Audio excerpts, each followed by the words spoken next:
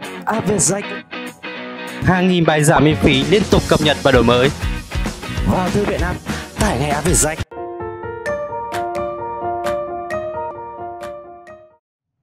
Chào các em, hôm nay cô và các em sẽ cùng nhau chuyển sang bài số 31 trong chương trình sinh học lớp 11 cơ bản. Tập tính của động vật.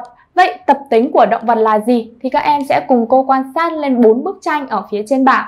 Bốn bức tranh này tương ứng với bốn động, bốn hoạt động của bốn loài động vật khác nhau. Đầu tiên, chúng ta thấy rằng đây là hoạt động về chim di cư.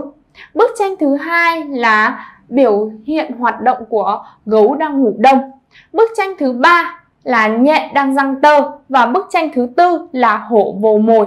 Và trên bốn bức tranh này, bốn hoạt động này thì người ta gọi đây là tập tính của động vật. Chim di cư, gấu ngủ đông, nhện răng tơ hay là hổ vồ mồi thì tất cả đều được coi là tập tính của động vật. Vậy tập tính là gì? Và tập tính nó có ý nghĩa gì đối với đời sống của động vật thì chúng ta sẽ cùng nhau tìm hiểu vào phần đầu tiên. Tập tính là gì? Thì khái niệm tập tính nó là chuỗi các phản ứng của động vật để trả lời các kích thích từ môi trường. Các kích thích này có thể là từ bên trong hoặc bên ngoài của cơ thể. Và tập tính nó có ý nghĩa gì đối với đời sống của động vật? Thì đó là nó giúp cho động vật thích nghi với môi trường sống để tồn tại. Ví dụ về một số tập tính ở động vật, ví dụ như là nhện răng tơ hay là mèo bắt chuột, vân vân. Tập tính ở động vật sẽ được phân loại như thế nào thì cô và các em sẽ cùng nhau chuyển sang phần thứ hai, đó là phân loại tập tính. Quan sát lên trên bảng, cô có hình ảnh về gì ạ? Chim mẹ đang bón thức ăn cho chim con. Đây là bức tranh đầu tiên. Bức tranh thứ hai của cô cho các em là gì ạ? Chuồn chuồn đang giao phối.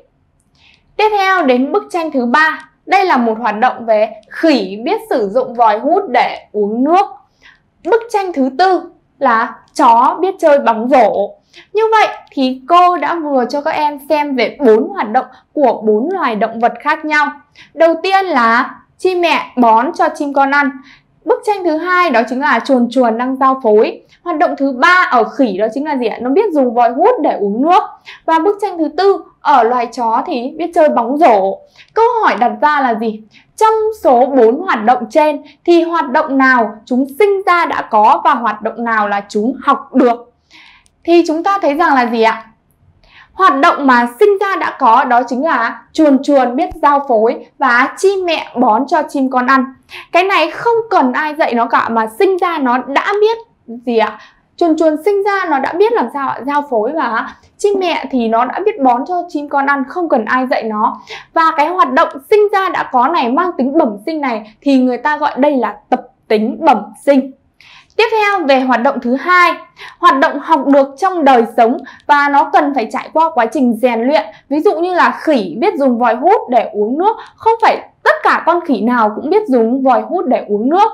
Hay là hoạt động chó chơi bóng rổ thì chúng ta thấy rằng là gì? Không phải tất cả các con chó nào cũng biết chơi bóng rổ, mà hai hoạt động trên nó làm sao nó được hình thành trong đời sống, tức là trải qua quá trình học tập và rèn luyện thì người ta gọi đây là tập tính học được như vậy thì chúng ta thấy rằng là gì ạ? Thế nào là tập tính bẩm sinh và thế nào là tập tính học được thì chúng ta sẽ cùng nhau đi phân tích so sánh ở bảng sau. Trên bảng cô có sự trên bảng là bảng so sánh về bảng phân biệt giữa tập tính bẩm sinh so với tập tính học được dựa trên 3 tiêu chí đó chính là khái niệm, đặc điểm và ví dụ. Về tập tính bẩm sinh thì chúng ta thấy rằng khái niệm của nó sẽ là gì ạ? Là loại tập tính sinh ra đã có và được di truyền từ bố mẹ đặc trưng cho loài. Về khái niệm tập tính bẩm sinh các em cần phải nắm được cho cô là gì ạ? Nó là tập tính mà sinh ra đã có và đặc trưng cho loài. Còn đối với tập tính học được thì sao? Thì tập tính học được nó là loại tập tính được hình thành trong quá trình sống của cá thể thông qua các hoạt động, ví dụ như là học tập và rút kinh nghiệm tức là gì ạ sinh ra chưa có và vì là gì ạ vì là được hình thành trong đời sống của các cá thể thông qua quá trình học tập và rút kinh nghiệm do đó mà tập tính học được này nó mang tính đặc trưng cho cá thể khác với bẩm sinh là đặc trưng cho loài về đặc điểm đối với tập tính bẩm sinh thì nó mang tính bẩm sinh, bền vững và khó thay đổi.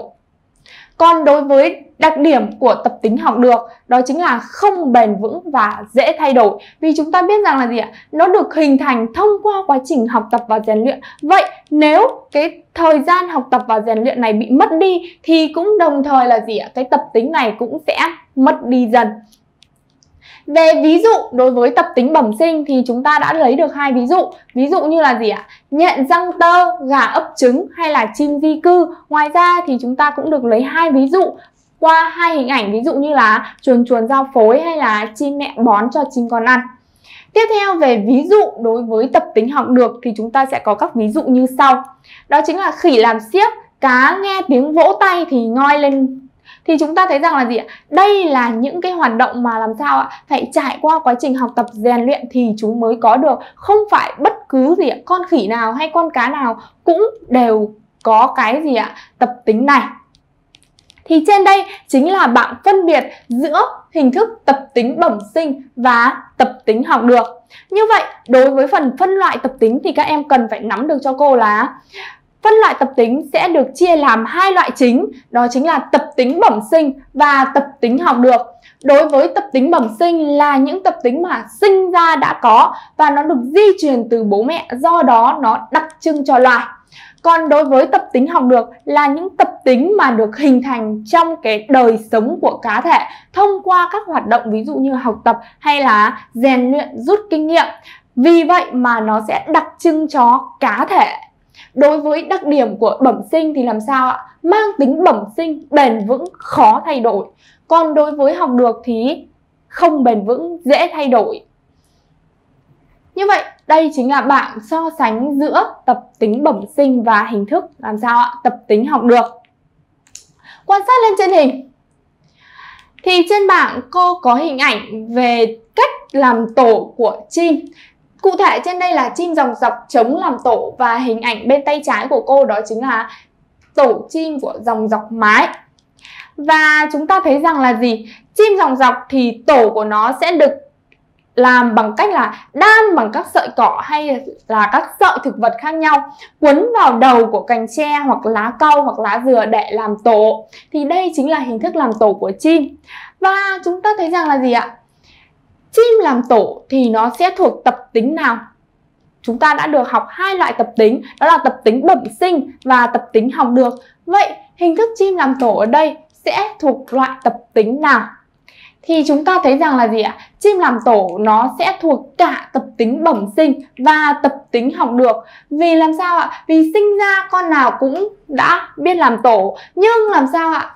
Trải qua quá trình học tập, tức là nó bắt chước từ con này, con kia, và như vậy thì nó sẽ bao gồm cả hai loại là tập tính bẩm sinh và tập tính học được.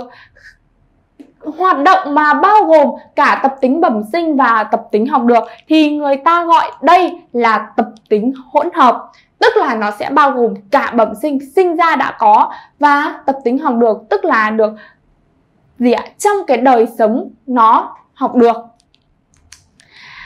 Tiếp theo, ví dụ thứ hai.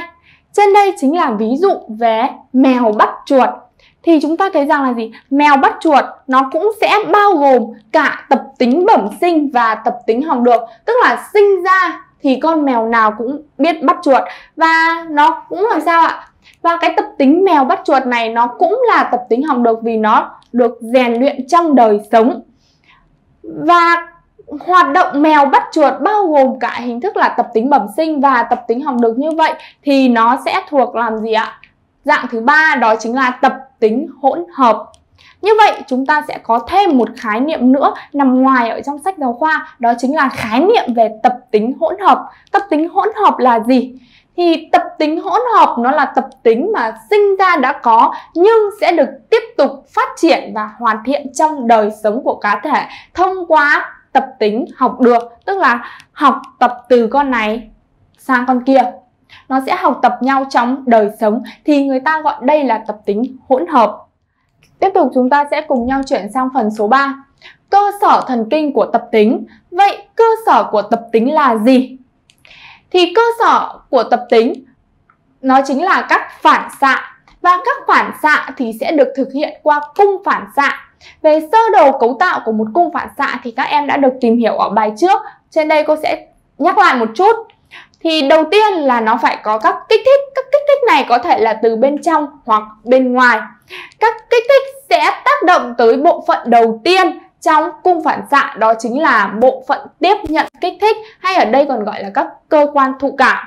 Từ bộ phận tiếp nhận kích thích sẽ được dẫn truyền tới bộ phận phân tích và tổng hợp, hay ở đây còn gọi là hệ thần kinh và cụ thể nó chính là hệ thần kinh trung ương đối với các loài động vật gì ạ? Ví dụ như là con người thì nó sẽ là thần kinh trung ương bao gồm não và tủy sống. Tiếp theo, từ bộ phận phân tích và tổng hợp sẽ được dẫn truyền tới bộ phận thứ ba trong cung phản xạ đó chính là bộ phận thực hiện hay còn gọi là cơ quan thực hiện và từ cơ quan thực hiện này sẽ dẫn tới làm sao ạ? Hành động để trả lời cho các kích thích trên. Như vậy thì trên đây chính là sơ đồ về cơ sở thần kinh của tập tính. Cơ sở thần kinh của tập tính nó sẽ là các phản xạ và các phản xạ này thì sẽ được thực hiện thông qua cung phản xạ. Và chúng ta đã được học là gì? Tập tính thì sẽ được chia làm hai loại chủ yếu, đó chính là tập tính bẩm sinh và tập tính học được. Như vậy, cơ sở của tập tính bẩm sinh sẽ là gì? Thì chúng ta sẽ cùng nhau chuyển sang phần đầu tiên. Cơ sở của tập tính bẩm sinh Cơ sở của tập tính bẩm sinh là loại phản xạ nào và nguồn gốc tập tính bẩm sinh là gì? Thì chúng ta thấy rằng phản xạ sẽ bao gồm hai loại đó chính là phản xạ có điều kiện và phản xạ không điều kiện mà các em đã được học ở những bài trước.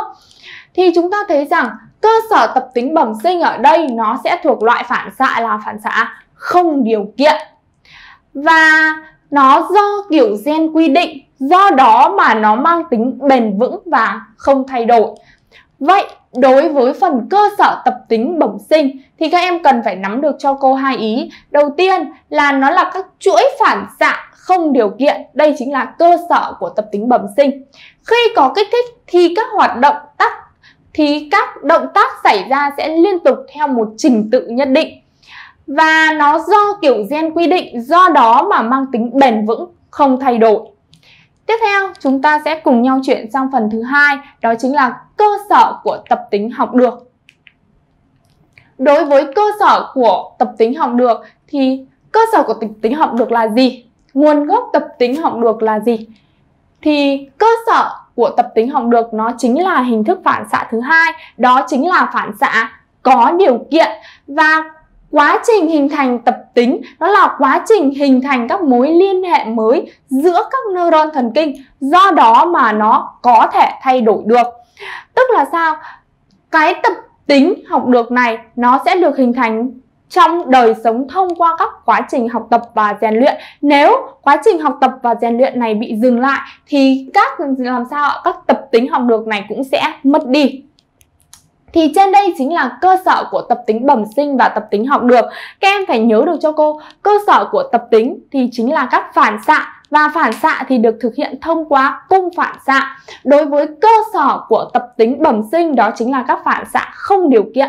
Còn đối với cơ sở của tập tính học được đó chính là các phản xạ có điều kiện. Tiếp theo, chúng ta sẽ cùng nhau chuyển sang phần 2, đó chính là phần luyện tập.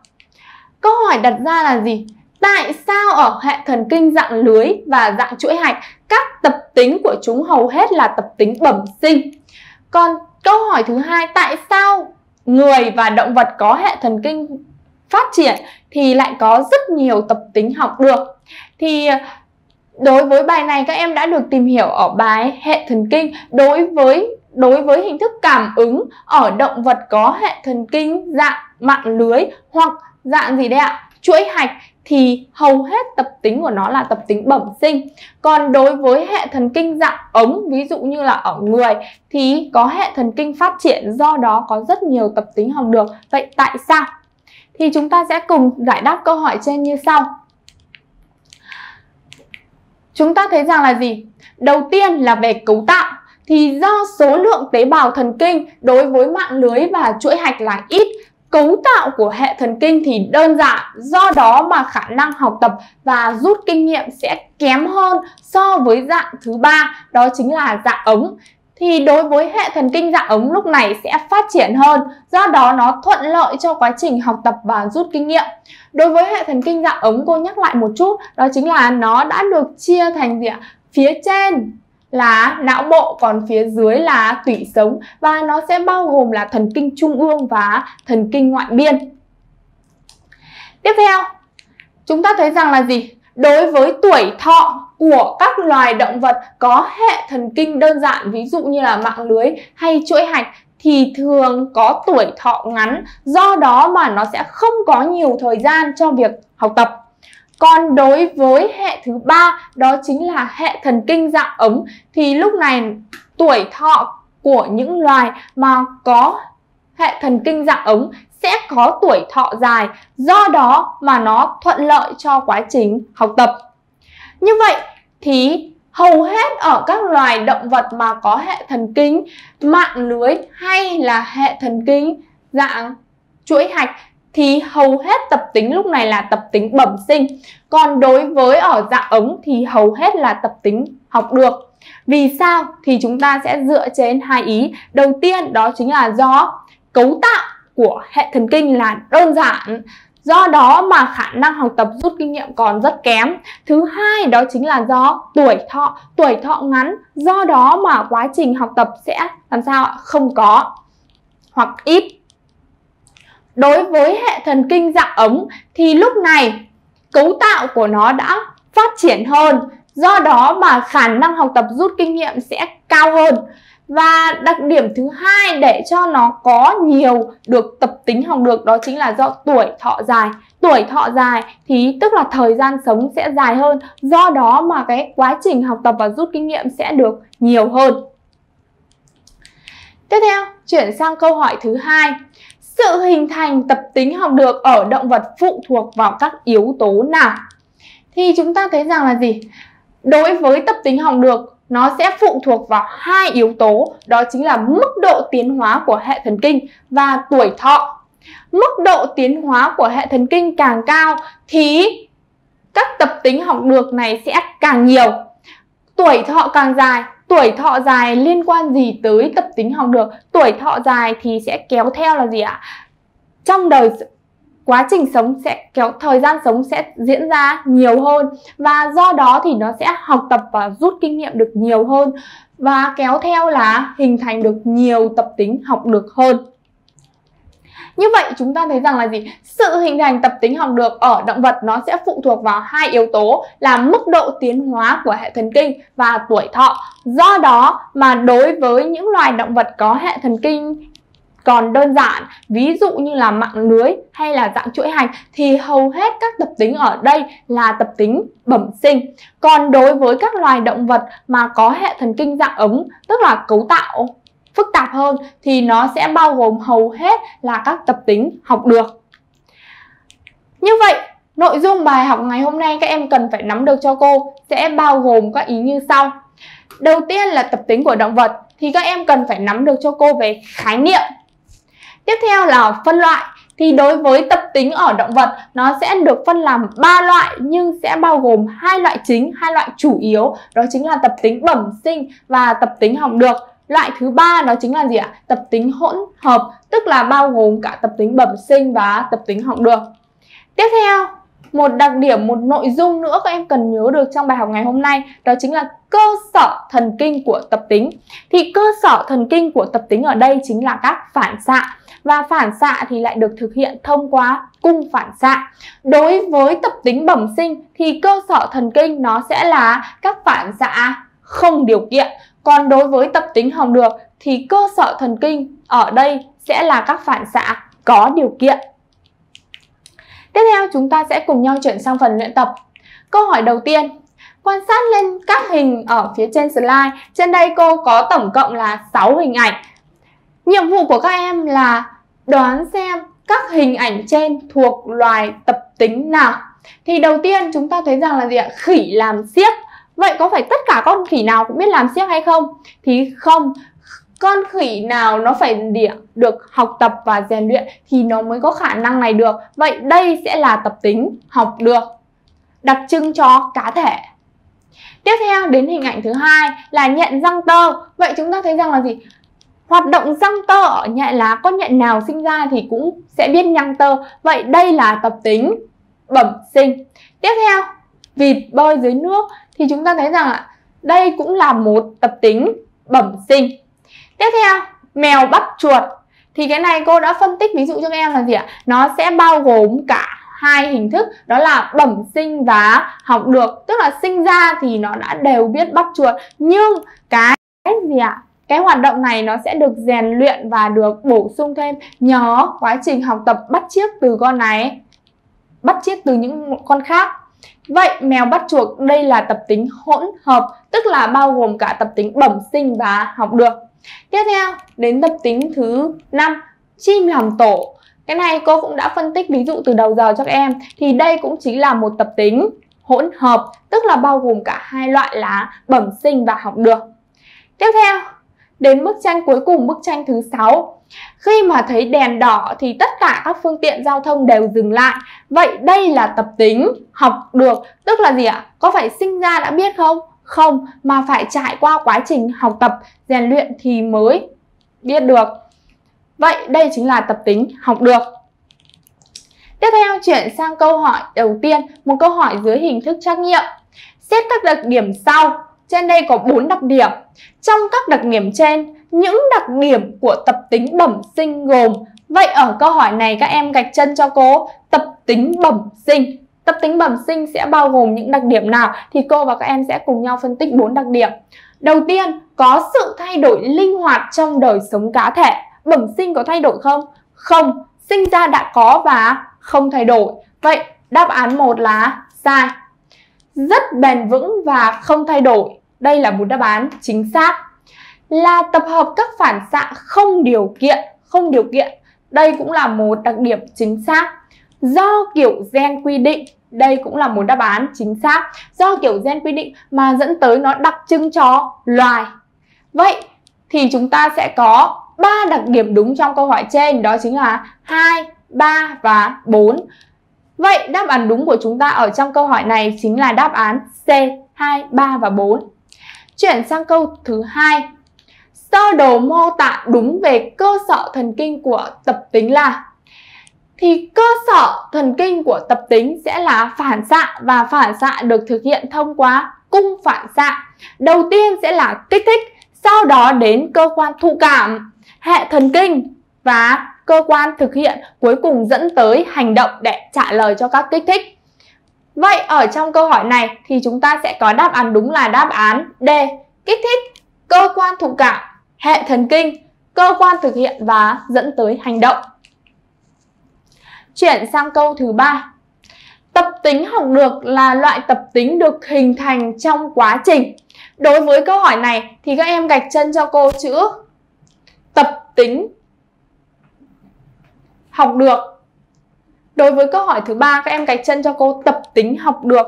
Vậy tập tính học được là những tập tính mà được hình thành gì ạ?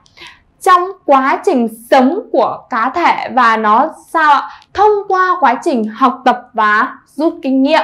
Vậy ở đây chúng ta sẽ có đáp án A là đáp án chính xác. Đáp án B sai vì sao? Phát triển của loài đá sai vì nó phải làm sao trong quá trình sống. Đáp án C trong quá trình sống của cá thể, thông qua học tập và rút kinh nghiệm được di truyền nó có được di truyền không không vậy được di truyền là một đáp án sai. Đáp án D này thông qua quá trình sống của cá thể thông qua học tập và rút kinh nghiệm đặc trưng cho loài. Đối với tập tính học được thì nó phải đặc trưng cho gì ạ? Cá thể. Vậy ở đây cũng là một đáp án sai. Thì chúng ta sẽ có đáp án đúng là đáp án A. Được, tập được hình thành trong quá trình sống của cá thể thông qua học tập và rút kinh nghiệm đặc trưng cho cá thể, không di truyền được. Chuyển sang câu số 4. Tập tính bẩm sinh là những tập tính. Vậy ở câu hỏi này các em gạch chân cho cô tập tính bẩm sinh. Tập tính bẩm sinh là những tập tính mà sinh ra đã có, được di truyền từ bố mẹ đặc trưng cho cá thể. Vậy ở đáp án A này sai ở đặc điểm là đặc trưng cho cá thể và phải phải thay từ cá thể bằng từ loài. Đáp án B được di truyền từ bố mẹ đặc trưng cho cá thể hoặc đặc trưng cho loài. Vậy, đặc trưng cho cá thể cũng là sai mà nó chỉ đặc trưng cho loài. Đáp án C, học được trong đời sống không có tính di truyền, mang tính cá thể. Nó có học được trong đời sống không? Không, bẩm sinh tức là sinh ra đã có và nó có mang tính cá thể không? Không, nó đặc trưng cho loài. Vậy đáp án C này cũng là một đáp án sai. Đáp án D, sinh ra đã có, được di truyền từ bố mẹ, đặc trưng cho loài. Vậy đây là một đáp án chính xác. Chuyển sang câu số 5. Cho các tập tính sau ở động vật, những tập tính nào là tập tính bẩm sinh và những tập tính nào là tập tính học được thì trên đây chúng ta sẽ có tổng cộng là 7 tập tính ở các loài động vật. Chúng ta sẽ cùng nhau đi phân tích từng tập tính một. Đầu tiên, sự di cư của cá hồi thì đây chính là một tập tính bẩm sinh tức là sinh ra đã có. Tập tính thứ hai, nhện răng tơ thì đây cũng là một tập tính bẩm sinh sinh ra đã có đặc trưng cho loài. Đặc điểm tập tính thứ ba, vẹt nói được tiếng người thì đây là một tập tính học được. Có phải con vẹt nào cũng nói được tiếng người không? Không. Sinh ra đã có không? Không mà nó phải vẹt muốn nói được tiếng người thì nó phải thông qua quá trình học tập, rèn luyện, rút kinh nghiệm. Vỗ tay cá nổi lên thì đây cũng là một tập tính học được được hình thành trong quá trình, được hình thành trong đời sống. Ếch được kêu vào mùa sinh sản thì đây là một tập tính bẩm sinh sinh ra đã có, con nào cũng biết, không cần phải dạy. Tập tính thứ sáu siết chó làm toán. Vậy có phải tất cả các con chó đều biết làm siếc không? Không, như vậy đây là tập tính học được, tức là cần phải trải qua quá trình học tập rèn luyện. Ve kêu vào mùa hè thì tất nhiên nó sẽ được xếp vào tập tính bẩm sinh, tức là gì ạ? Sinh ra đã có, con nào cũng biết kêu, cũng mùa hè là ve sẽ kêu. Như vậy thì trên như vậy thì bài học của chúng ta hôm nay đến đây là kết thúc. Cô chúc các em luôn học tập thật tốt. Khóa học viên rách sự lựa chọn của hàng triệu phụ huynh và học sinh. Trải nghiệm ngay khóa học của Vietjet